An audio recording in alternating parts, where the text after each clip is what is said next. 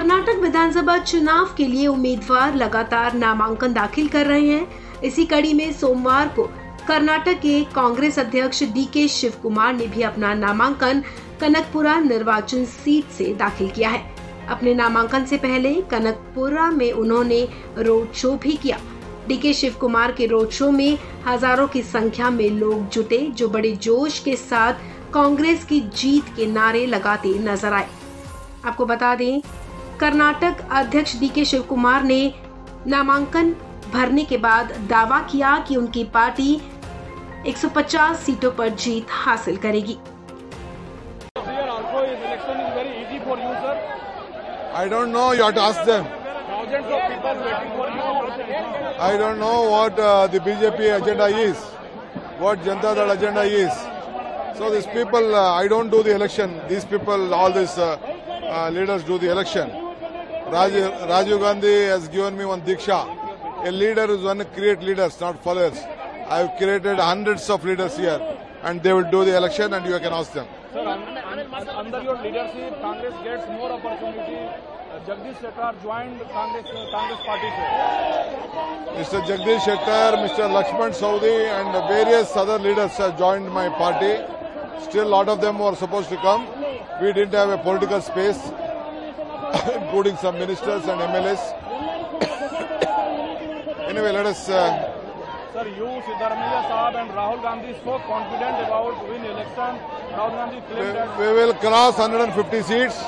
We are very confident we will form a government on our own. I think we will touch 150 seats. That is our our gut feeling. वहीं D K Shiv Kumar के 150 सीटें जीतने के दावे पर BJP की तरफ़ से भी प्रतिक्रिया सामने आई है कर्नाटक के मंत्री सीएन अश्वथ नारायण ने कहा, कांग्रेस अपनी वर्तमान संख्या उनासी तक भी नहीं पहुँच पाएगी। वो अपनी मौजूदा संख्या को पार नहीं कर पाएँगे। उन्होंने कहा कि बीजेपी आसानी से बहुमत के साथ सत्ता में वापसी करेगी। बहुत बहुत। No chance even the present number whatever they're having present number the seventy nine they will not be able to reach the seventy nine itself I am telling you now itself take it. You can write it wherever you want. They will not even cross the existing number. What about forming government? You are going. BJP. Who else? It can be only BJP, BJP. BJP come back with a comfortable majority with a record margin. वहीं जगदीश शेट्टार के कांग्रेस से हाथ मिलाने पर कर्नाटक के मंत्री C N Ashwath Narayan ने क्या कहा आइए सुनते हैं Definitely not. It will only affect the Mr. Jagdish Shettar and his Congress party. How you see, sir, Congress party uh, grabbing your leaders? How you see? See, people are very, very intelligent. They can understand the challenges. See, Jagdish Shettar, he was given, he was made a sixth time with the people's blessing and the party's opportunity, and he was even made a chief minister. He was also a party president. He was a leader of the opposition. He has occupied all the positions. So even after getting everything, if he has left the party, what will the people say?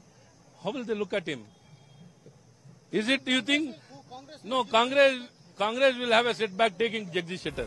बता दें कि पूर्व मुख्यमंत्री जगदीश शेट्टार ने ticket न मिलने से नाराज़ होकर बीजेपी से इस्तीफा देकर कांग्रेस का हाथ थाम लिया है उम्मीद है कि शेट्टार अपनी हुबली धारवाड़ सीट से कांग्रेस के टिकट पर चुनाव लड़ेंगे गौरतलब है कि 10 मई को कर्नाटक में विधानसभा चुनाव होंगे और 13 मई को वोटों की गिनती के बाद चुनाव परिणाम घोषित किए जाएँगे।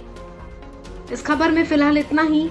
तमाम अपडेट्स के लिए आप बने रहें वन इंडिया हिंदी के साथ।